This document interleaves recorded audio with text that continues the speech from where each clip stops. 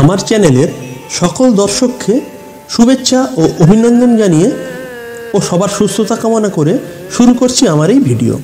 এই ভিডিওতে থাকবে দক্ষিণ ভারতের কাশ্মীর, অর্থাৎ কেরালার অনন্য সুন্দর একটি স্থান, মুন্নার। এই ভিডিওতে থাকবে মুন্নার কীভাবে যাবেন, কোথায় থাকবেন, কত খরচ, কি কি খাবার পাওয়া যায়, কি কি দেখবেন ইত্যাদি। ভিডিওটা না টেনে পুরো দেখবেন।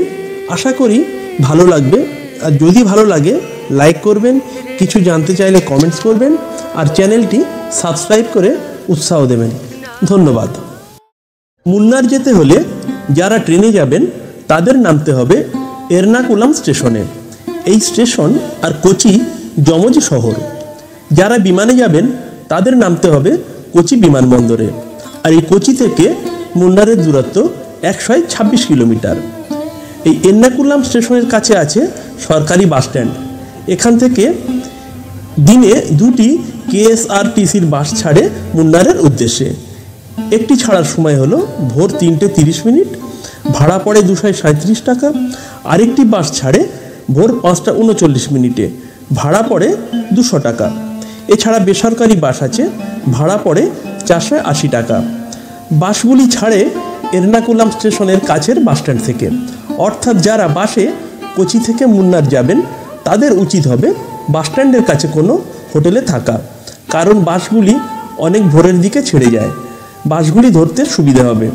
আর যারা নিজস্ব গাড়ি ভাড়া করে যাবেন, তাদের ভাড়া পড়বে তিন হাজার থেকে তিন হাজার পাঁচশো টাকা। মুন্নারের কাছাকাছি রেলওয়ে স্টেশন আলুহা। এখান থেকে মুন্নারের দূরত্ব একশো আট কিলোমিটার। কিন্তু পর্যটকরা সাধারণত এন্নাকুলাম নেমে কোচি শহর বেরিয়ে তবেই মুন্নার যায়। কোচি থেকে মুন্নার যাওয়ার পথে পড়বে দুটি ফলস, একটি হলো ছেপাড়া ফলস আর অপরটি হলো ভালাদা ফলস। তারপরে পথে পড়বে দুটি মিউজিয়াম, একটি হলো ফোকলোর মিউজিয়াম। এই মিউজিয়ামটি অবশ্যই দেখবেন। টিকিটের মূল্য জন প্রতি একশো টাকা এবং ক্যামেরার জন্য লাগে একশো টাকা। কেরালার কোচির কাছে থেবারাতে এই অনন্য মিউজিয়ামটি ঐতিহ্যবাহী কেরালা স্থাপত্যের অন্য উদাহরণ। এই মিউজিয়ামের বিল্ডিংটি হলো তিনতলা।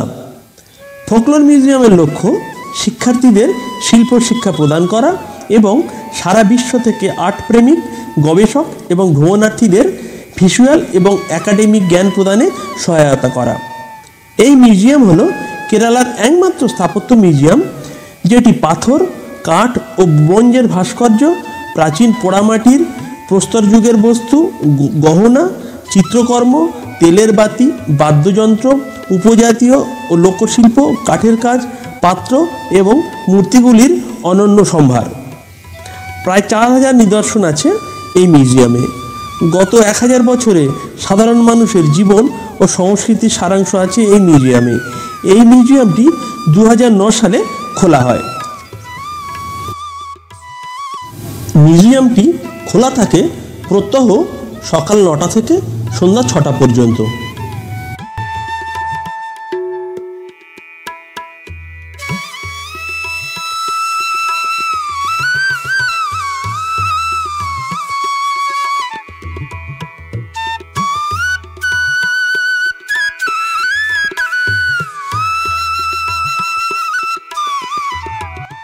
আরেকটি মিউজিয়াম অবস্থিত কোচি থেকে ১৩ কিলোমিটার দূরে হিল প্যালেস মিউজিয়াম। এটির অবস্থান তিরুভানকুলামে পার্বত্য প্রাসাদ পূর্বের কোচিন শাসকদের রাজকীয় আসনটি ত্রিপুনিথুরার পূর্বে একটি টিলার উপর অবস্থিত। এই রাজকীয় প্রাসাদটি আঠেরোশো পঞ্চান্ন সাল থেকে কোচিন শাসকদের সরকারি বাসভবন ছিল। ঐতিহাসিক প্রমাণ থেকে বোঝা যায় যে এই প্রাসাদ কমপ্লেক্সের প্রাচীনতম ভবন। আঠেরোশো তিপ্পান্ন এবং আঠেরোশো চৌষট্টি সালের মধ্যে শাসনকারী রবি বর্মা দ্বারা নির্মিত হয়েছিল। থেকে মুন্নার যাওয়ার পথে একটা রেস্টুরেন্টে ঢুকলাম লাঞ্চ করব হোটেল ইফতার। সেখানে নিলাম আমি লাঞ্চে chicken roast chicken curry mixed fried rice আর রুটি। এটা আজকের লাঞ্চ দেখা যাক কেমন, কেরালিয়ান ফুড কেরালিয়ান খাবার, দেখা যাক টেস্ট করে কেমন লাগে। কোচি থেকে সবুজ প্রকৃতির মধ্য দিয়ে সড়ক পথে মাইলের পর মাইল ঢেউ খেলানো সবুজ চা বাগানের মধ্য দিয়ে এগিয়ে চললাম কেরলের হিল স্টেশন দক্ষিণ ভারতের কাশ্মীর মুন্নারের দিকে। যার উচ্চতা পাঁচ হাজার দুশো ফুট। গ্রীষ্মের তাপমাত্রা থাকে পনেরো থেকে পঁচিশ ডিগ্রি আর শীতে নেমে যায় প্রায় শূন্য ডিগ্রি সেলসিয়াসের কাছাকাছি। তবে বর্ষায় ভালোই বৃষ্টি হয়। এলাম বহু আকাঙ্ক্ষিত মুন্নারে। এলাম মুন্নার শহরে, যেখানে সরকারি বাসস্ট্যান্ড অবস্থিত। এই বাসস্ট্যান্ড থেকে কেরালার বিভিন্ন জায়গায় বাস চলাচল করে। স্ট্যান্ডে যে বাসের টাইম টেবিল আছে, সেটি এখানে হুবহু দিয়ে দিলাম। যদি দর্শক বন্ধুদের কোনো সুবিধা হয়, তাহলে খুব ভালো লাগবে। সারা মুন্নারে আছে প্রচুর হোটেল, কিন্তু এই বাস- বাস স্ট্যান্ডের কাছে জমজমাট মুন্নার। আর এখানে আছে প্রচুর হোটেল। চা বাগানের অপরূপ সৌন্দর্য দেখতে দেখতে জেনে নিন কিছু হোটেলের নাম, ফোন নাম্বার এবং তাদের ভাড়া।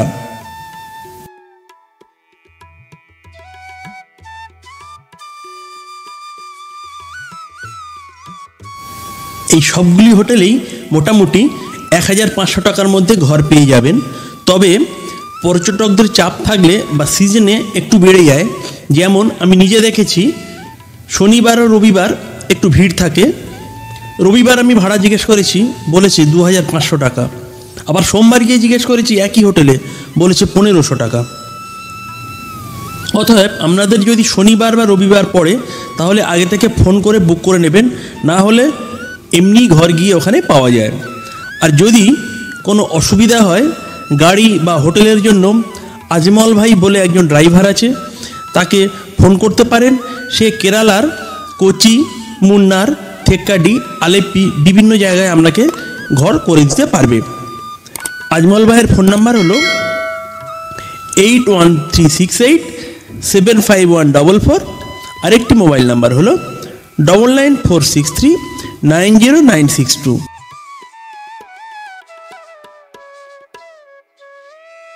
যেদিন কোচি থেকে মুন্নার পৌঁছলাম সেদিন মুন্নারে পৌঁছবার পর আর সাইট সিনে যাবার সুযোগ হবে না, কারণ দিন প্রায় শেষ।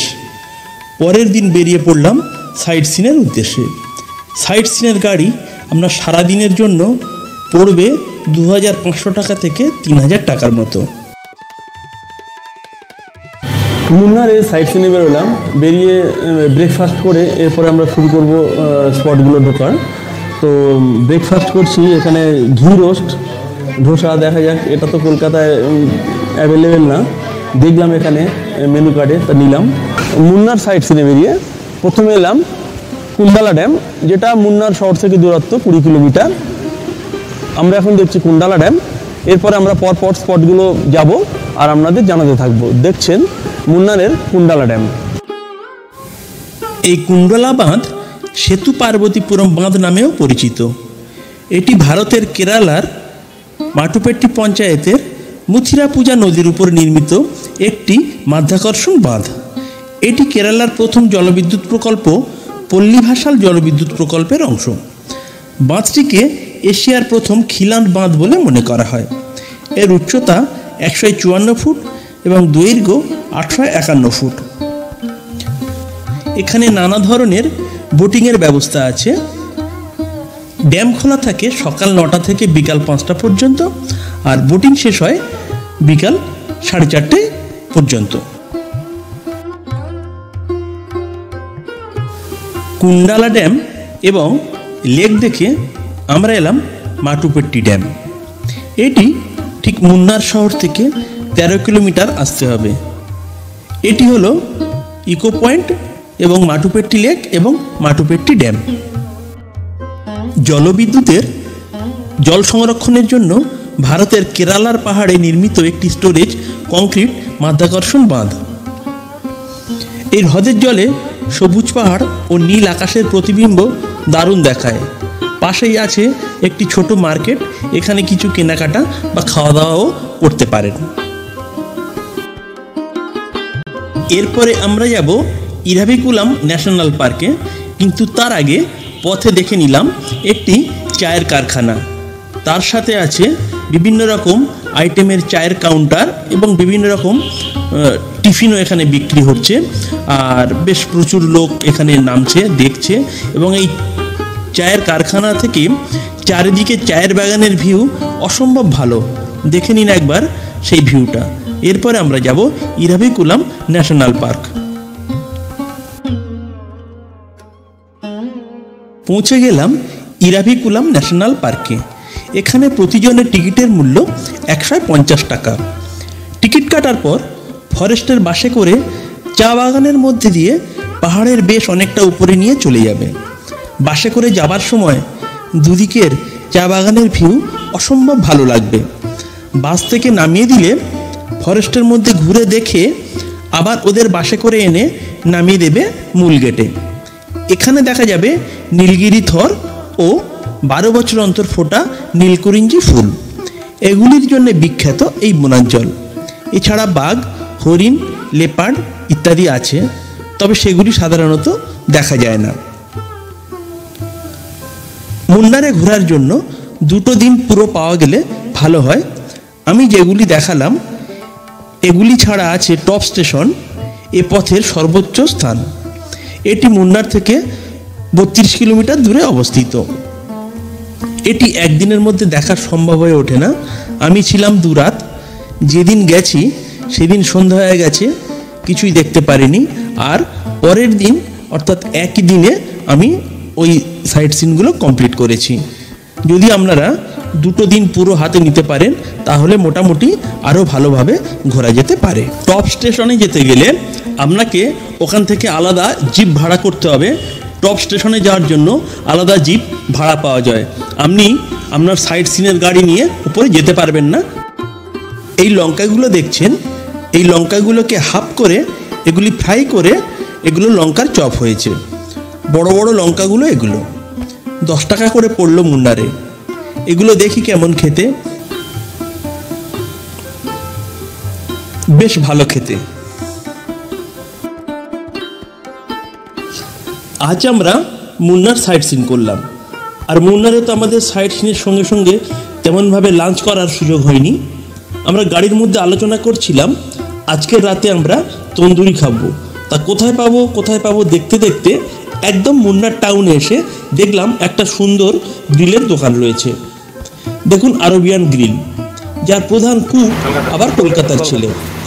এখানে ভ্যারাইটিস তন্দুরি আছে তবে আফগানি তন্দুরি আর পিপার তন্দুরি বলল এটা খুবই এখানকার পপুলার আমরা ওটাই আজকে অর্ডার করলাম রুটি সহযোগে ওটাই আমাদের ডিনার ভালো দোকান খুব বড় তন্দুরির সাথে দুটো রুমালি রুটি দিয়ে দেয়। অবশ্যই এই দোকানটা একবার ভিজিট করার চেষ্টা করুন। মুন্নার যে জন্য বিখ্যাত সেটি হলো বিভিন্ন মশলার গাছ এবং আয়ুর্বেদিক গাছের জন্য। কোচি থেকে মুন্নার যাওয়ার পথে মুন্নারের কাছাকাছি এলে দেখা যাবে প্রচুর স্পাইস গার্ডেন। এই স্পাইস গার্ডেনে একশো টাকা টিকিট কেটে আপনারা ভিতরে ঢুকলে দেখতে পাবেন বিভিন্ন গাছের স্যাম্পেল রয়েছে এবং কাউন্টার আছে সেখানে বিক্রয়ের জন্য, কিন্তু মূল বাগান আছে অন্যান্য জায়গায়। সেখানে গোলমরিচ, এলাচ, জায়ফল, জয়ত্রী, কোপ, কফি, কোকো, দারচিনি, বড় এলাচ, এছাড়া বিভিন্ন ধরনের মশলা এবং গাছ দেখতে পাওয়া যায়। আমি যে হোমস্টেতে ছিলাম, সেই হোমস্টের পাশে বিভিন্ন ধরনের গাছ দেখেছি এবং সেই গ্রামের মধ্যে ঘুরে আমি নিজে জায়ফল জয়ত্রী পেড়ে এনেছি, এলাচ পেড়ে এনেছি, কফি পেড়ে এনেছি, কোকো পেড়ে এনেছি, এইগুলো সব এনেছি। আপনারা যদি মুন্নারের কোনো গ্রামের মধ্যে হোমস্টেতে থাকেন, আপনারা নিজেরাই দেখতে পাবেন এবং এর স্বাদ নিতে পারবেন।